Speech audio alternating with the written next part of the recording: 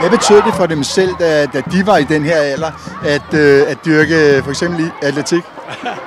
Det var en fornøjelse også som ung. Jeg har trådt mange ben her og kastet mange spyd her på den her græsplæne i, øh, ja, for 40 år siden. Ikke? Men altså, det er stadig dejligt gensyn at komme tilbage på det her stadion, som jeg synes også har en eller anden god ånd. Den ligger jo centralt i København og øh, har masser af gamle øh, historie i sig og bag sig.